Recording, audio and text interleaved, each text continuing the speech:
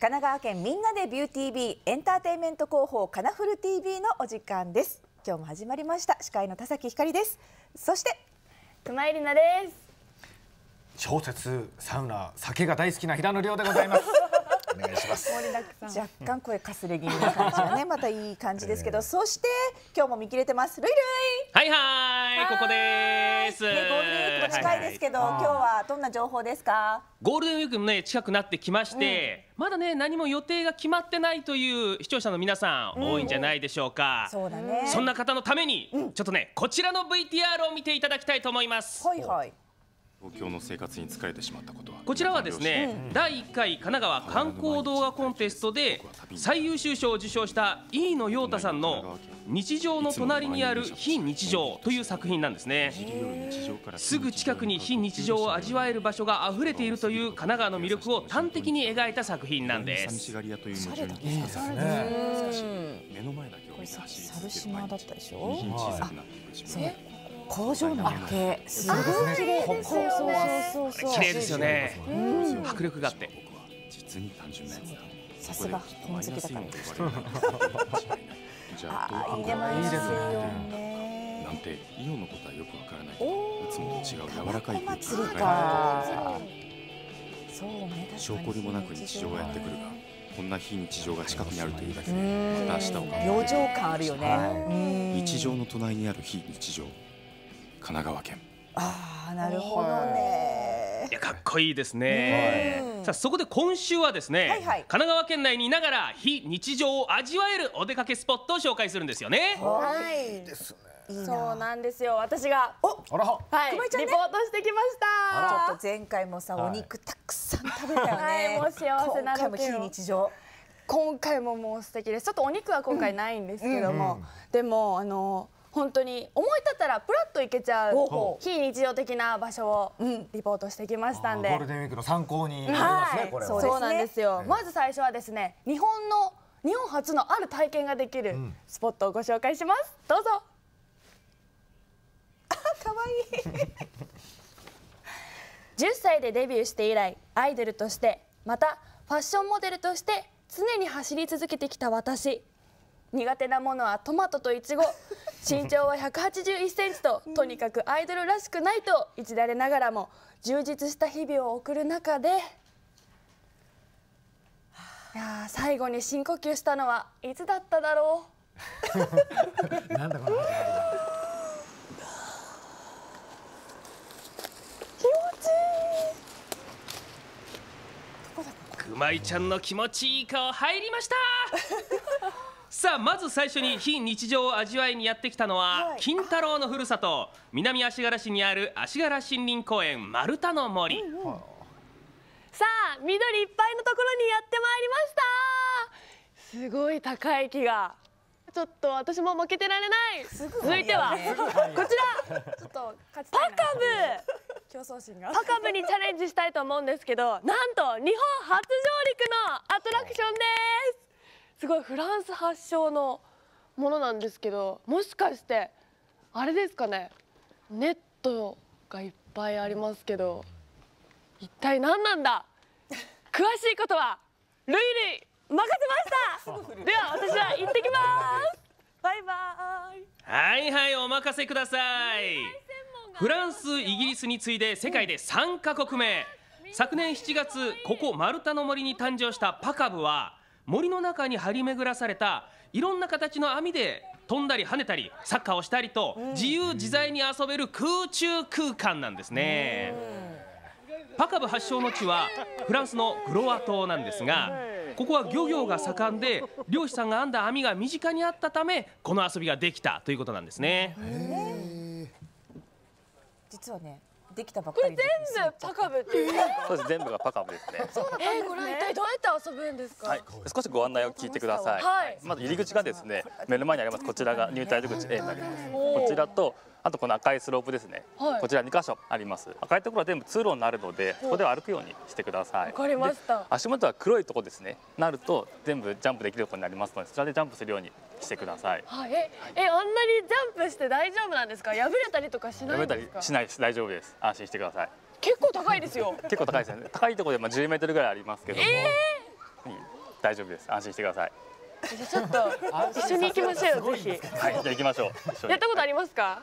僕はもうあります。ありますか？あります。あります。ちょっとジャンプするような感じに見えないですけどああやってはしゃいだりするんですか全然はしゃぎます。じゃあちょっと今日はい一緒にはい。はしゃぎましょう。行きましょう。行きましょう、はい。レッツゴー、はい。結構揺れますね。しかもどんどん高くなってきた。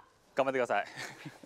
これ結構傾斜ありますね。うわ。急になりますので。やっとた。どり着いたえー、ちょっと怖いですね、はい。ここが広場になりますのではいジャンプはできここますはジャンプできるんですか、はうわジャンプしてくださいーちょっと止まって止まって止まって止まってこれ疲れすごいですね結構全身の筋肉を使って本当に体幹が鍛えられる感じなんですけどでも本当空中散歩をしてるようなすごい楽しい空間で。ねこうバスケットがあとバドミントンとかねいろいろ置いてあって。サッカーとかもそうすごい。あったり。多分どんなに上手な人も全然できないもう本当子供から大人の方まで。ご家族で行ってもいいしカップルで行ってもいいし。もう大人がこうやってはしゃいじゃいますね。そうそうそうそう。うん。逆にね走り方がまああのブサイクになってますけど。いやもうこれやってみてください。いやちょっとやってみたいですね。走りにくいんですよ。いいです気持ちいいですねいいですね。最高でした。気持ちよかった。まさか？まさかの？よいしょ。これ行くの？じゃあ。で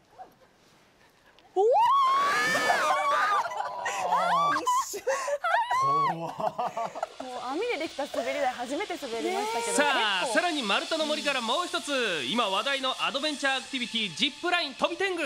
まいちゃん味わっちゃって。どういったものなんですか？はい。ここちょっと見ていただくと分かると思います。はい。全長で1060メーターあります。えー、結構長いはいですね。長いです。その中でですね8つのラインで構成されてます。はい。はい。見ていただくと最初にコテングラインムササビラインモリモリラインガビチョウラインここで一旦地上に降りまして後半部。あ一回地上に降りるんですか？はい地上に降ります。後半部4つのライン。それで、えー一番長いところ一番見どころですね。はい。これ大天狗ラインの320メーター。うわかなり長いですね。長いですよ。いやー飛び天狗。これは非日常味わえること間違いなしですトップアイドル熊井ゆりなジップライン飛び天狗初挑戦。あかぶり物も似合う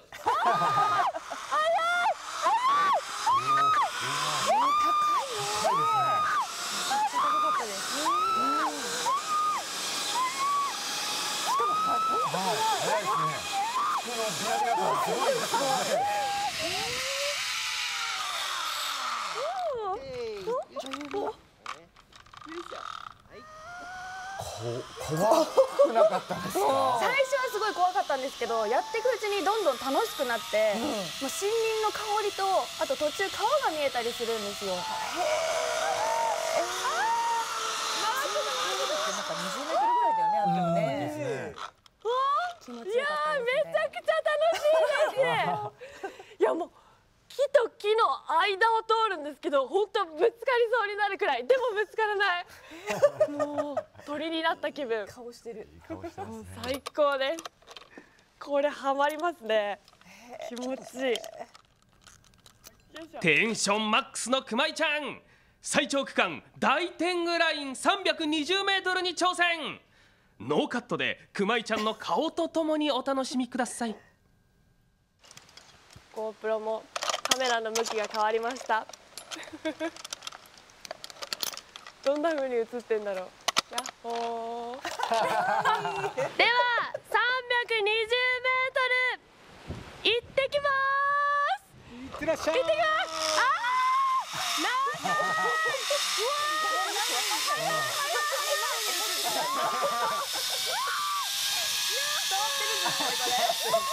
逆に景色だけが動いてるみたいに見えますよね。な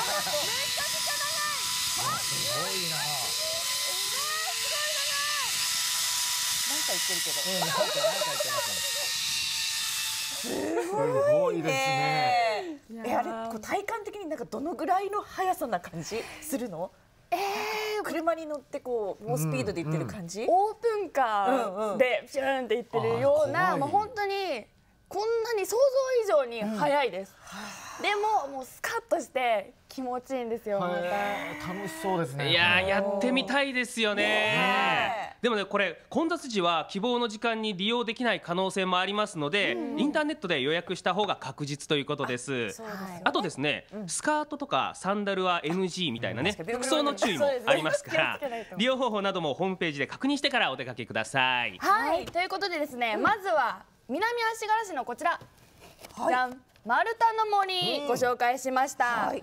さあ森に続いて次は海です、神奈川が誇る湘南でインスタ映え間違いなしのえおしゃれスポットを2つ続けてご紹介します。どうぞ。日常の隣の非日常。さあ今回は明治から昭和にかけてセレブの別荘地として栄えていた大磯にやってまいりました。さあこの松並木のこの奥の方にですねセレブが住む別荘地があったんですかね。いいなあ私もその時代に生まれたかった。明治18年ここ大磯に日本初の海水浴場が誕生して以来政財界人が競って別荘や邸宅を構えたことから明治政界の奥座敷とも呼ばれ今も当時の面影を忍ぶ洗練された街並みが残ります。大磯はですね歴史的な建物がたくさん保存されているんですがそんな歴史的な建物で食事ができるんです。それがこちら。すごく可愛らしい建物ですね貿易商の別荘地として建てられてから100年余り数々の賓客をもてなした歴史ある建物を利用したレストランがピッツァリストランテ大磯迎賓館。とても素敵な建物ですけど、はいこちらどういった建物なんですか？はい、こちらの建物は大正元年に建ちました、はい日本最古の 2x4 工法の住宅として国登録有形文化財に登録されている建物になります。旧木下家と言われる貿易商の方の別邸だったんですね。えー、もともと別荘そうなんです。お家だったんですね。そんなすごい建物の中であの素敵なお食事がいただける、はい。ということをお伺いしたんですが、はい。ダイニングがこちらになります。あこっちですか？はい、どうあぞ。もしかしてなんかちょっと素敵な空間がはい。もうすすでに見えてきてます？見てください。どうですかこの雰囲気？窓が大きはい、歴史を感じながら美味しい料理が食べられる非日常の空間行きたくなっちゃいますよね。大磯の海まで見えるんですよ、そしてこのご自慢の自家製釜で焼くピッツァこれがまたたまりまうわー美味しそう。小林ちゃんこれ食べたんですよね。せん食べました。ずるいなご自慢のピッツァは湘南野菜のオルトラーナ。モッツァレラチーズズッキーニ大磯ミツバチトマトなど野菜たっぷりの菜園風ピッツァ。なんかヘルシーでいいね。本当もうそして前菜は湘南の野菜畑。湘南育ちのこだわりの野菜。味の濃さと香りに驚きますよ。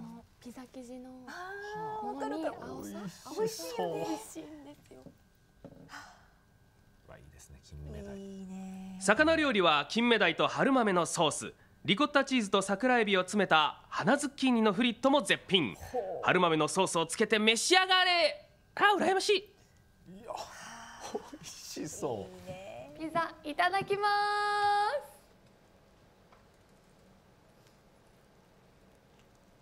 す。うん、うん、生地がもっちもちですね。はい。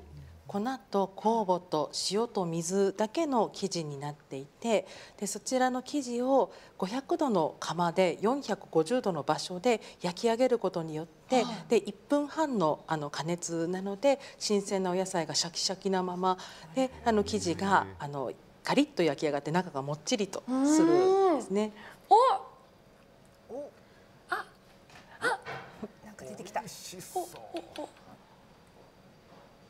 構一口欲張りなんですよ。欲張っち大磯産の花ズッキーニですね。チーズがたっぷり入ってますねはい。ゆっくりと流れる時間を楽しみながら視聴者の皆さんも味わってみてはいかがですか？日常の隣にある非日常スポット、最後に熊井ちゃんが向かったのは逗子さあ住宅街にやってまいりましたがこの辺にあると。あ？もしかしてこれですかね？え？ミラーボールがある。これでもちょっとカフェっぽい気もしますね。あでもどうなんだろう。おしゃれなバーにも見える。さあ田崎さん次の非日常スポットはどこだと思いますか、ね入ってみたいと思います。あミラーボールありますよね。ディスコその世代じゃないから一応言っとくけどね。おしゃれな空間わあいいね。ちょっとよろしくお願いしよろしくおます願いしますこちらはどういった場所なんですか、そうですね。ここは映画を見ながらあのご飯食べたり食事ができるシネマカフェになっていますシネマカフェ、はいということはあのスクリーンで映画を見ながら、はい何かこういうドリンクだったり、はい。お食事がいただけるんですか、はいそうですね。どうしてシネマとカフェを一緒にしようと思ったんですか？そうですね。まああのもともとまあライブとかをやるようなお店をやってたりとか前してたんですけれども、はい。まあそういうなんか地域のカルチャー発信基地になれるようなまたカフェみみたいなものが空間作れたらなと思っていった時に、まあ、あの映画を切り口にすると、まあ、そこでいろんな情報も生まれるし、まあ、映画流す映画によってあのいろんな世代も交えるしっていうところで、まあ、そういった意味で映画に切り口にしたちょっとトータルカルチャー空間みたいなのを作れたら面白いなっていうコンセプトで作りました。この空間はもう本当映画好きにはもうたまらない贅沢な空間だと思うんですけど、はいまああのゴールデンウィークも近いということではい。何かイベントとかもやられたりするんですか、そうですね。毎年あの僕とここの近くのいろんなクリエイターと一緒になって、はい。あの逗子海岸映画祭っていうのをゴールデンウィークに本当すぐそこの目の前のビーチにはい。スクリーン立てて、で本当サーカスの まあ本当期間限定のちっちゃい街みたいな空間を作ってそこで映画祭やってます。ビーチの上にスクリーンをはい。貼って、はい。い、やー皆さん聞きました？今のすごくいい情報ですよ。絶対に行くしかないですね。いやーでも本当に今日来れたのがすごい嬉しいのでちょっと私だけのために一本映画上映してもしていただいてもいいですか、大丈夫ですどうぞ。ありがとうございます。これ席は決まってるんですか席はご自由にお好きな好きなところに。好きなところに見ていただいて大丈夫です。どこにしよう迷っちゃいますね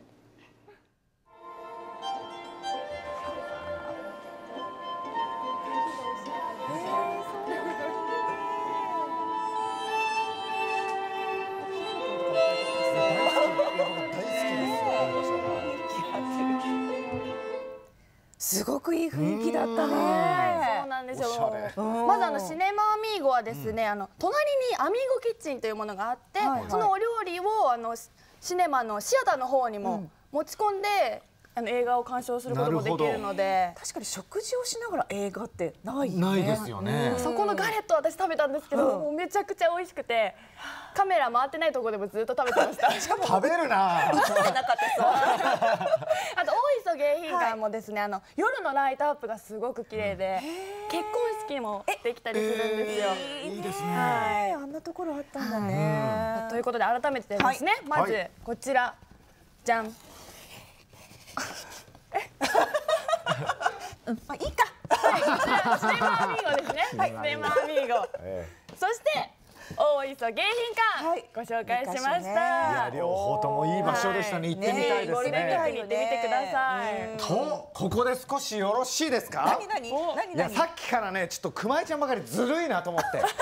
ここでねそうですよ。ここで私の非日常コーナーをやらせていただければと思います。よろしいでしょうか？ダメだけど。僕がご紹介するのはこちら。えーミスターサウナ平野がご紹介するのはですね、えースカイスパ横浜でございます。もうサウナーの間でも大人気の場所なんでございますけれども、まあスカイだけあって眺めがいいんですね。えーそして水風呂もキンキンでございますし、なんといってもアウフグース。これ何？何えーまああのアロマでアロマの蒸気をタオルでえ体に一気に叩き込んでもう一気にあの発汗させるっていう。えー？サウナ発祥のフィンランドではもうポピュラーなんですけども。えこれ平野くんでしょ？これは僕じゃない。これは僕じゃないんですけども。これすっごくおすすめでございます。ええ。そしてもう一つございます。はいもう一つ。それが皆様ご存知だと思いますけれどもこちら、えー八景島シーパラダイスです。おやっぱりね敷地内に入るのも無料でございますし水族館もありますし散歩するもよしでございますね。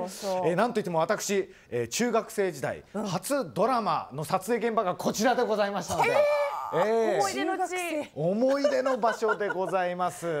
えー素これブルーホールもね、えーとってもスリリングでいいです。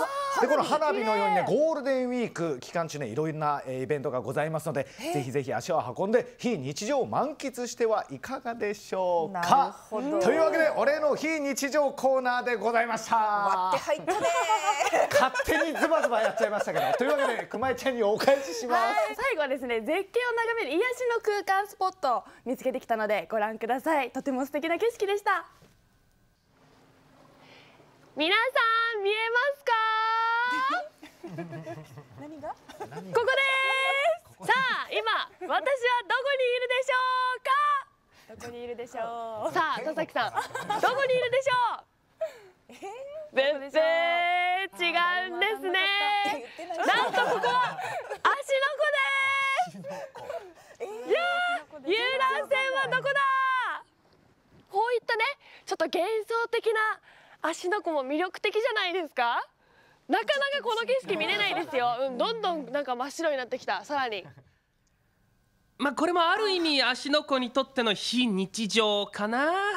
ということで熊井ちゃんが伺ったのは芦ノ湖畔に佇む箱根プリンスホテルの純和風旅館龍宮殿本館。最高級の材料だけを使って贅を尽くした建物は昭和32年の開業以来国の内外の要人をもてなしてきた歴史ある旅館です。おおすごい。いらっしゃいませ。こんにちは。こんにちは。よろしくお願いしまます。歴史ありそうなええ。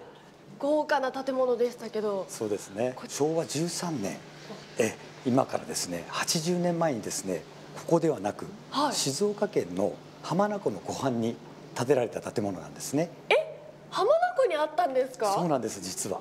あれでもここ芦ノ湖ですよね。はい。えどうやって移動してきたんはいですか、、えっ、とそれがですね、えっ、と今から60年前、えっ、と少しずつですね解体をして、それから箱根まで運んだんですね。はい。そうだったんですね、結構和なテイストもありつつちょっとモダンな感じもそうですね。ありますね。はい。この非日常の空間をですね、はい。味わおうと、あの各国の著名人だったりとかですね、はい。えー天皇なんかもえ一度遊びに来ていただいたりとか、はい。そんなええ。すごい方々が来ている、ね。はい。そんな歴史あるゴージャスな竜宮殿の中でもシンボルといえるのがこちらなんです。うわすごいですね、えもしかしてここですか？そうでございます。迫力ありますね。そうですね。はい。もう和のシャンデリアはい。みたいな、そうでございます。あのーこの建物はですね、はい。昨年の7月に国の登録有形文化財に登録させていただいたんですね。そうなんですね、はい、それはですね建物全体がそう言われてるんですけれども、特にこの階段ホールと言われている、はい。ここが特徴的でございます。であの天井を見ていただくと分かる通り、はい。釘を一本も使ってないようなそんな作りをしてるんですね。確かにそうですね、はい。そうですね。はい。また。あの柱もですね実は日本の柱であの杉ではなくてですね台湾のカレンから、えー、と輸入をした台湾杉を使ってるんですね。えー、なえなぜでも台湾台湾杉の方が丈夫なんです。そうなんですね、で今ではなかなか輸入ができないと言われておりますのでこちらの杉の木も80年前の杉の木でございますえー、ちょっと触っといていいですか、どうぞ。なんかご利益がありそうな。わあ太い。もう手が一周届かないですよ。すごいなあ。頑張ってるね。いいな私もここまで大きくなりたい。大きさにはちょっと並々ならぬ思いがあるみたいですが。さあ竜宮殿の非日常空間はまだまだここからなんです実は昨年7月に絶景日帰り温泉竜宮殿本館としてリニューアルしたのでさまざまなセレブも入浴したゴージャスなお風呂を日帰りで楽しめるようになったんです。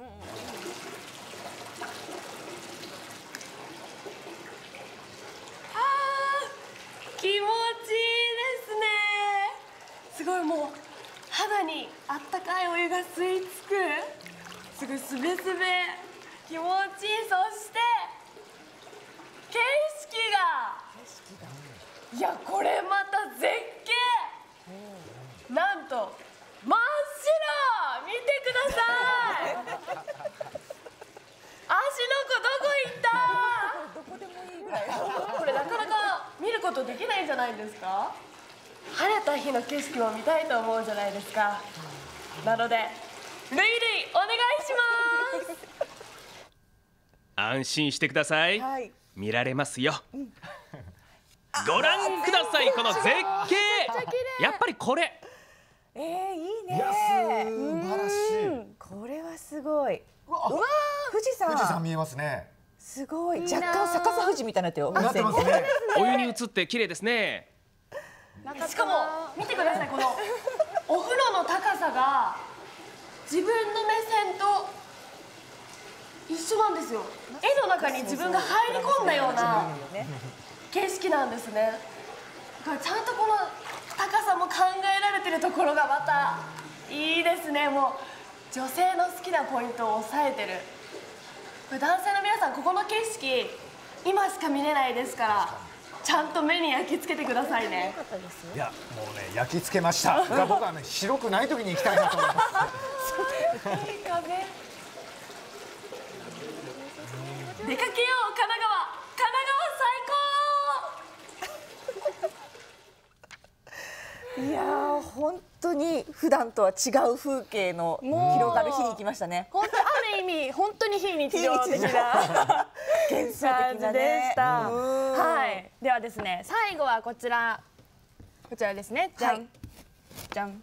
おはい、昨年7月に日帰り温泉としてリニューアルオープンした竜宮殿本館。日帰り。日日帰りで気軽いいにですね。本当に行けるの行で。けるっていうのがいいよはね、全部行きたくなったよねまあいろいろね他にも神奈川県内いいところたくさんありますけれどもぜひ、えー日常の隣の非日常皆さんも見つけてお出かけしてみてはいかがでしょうか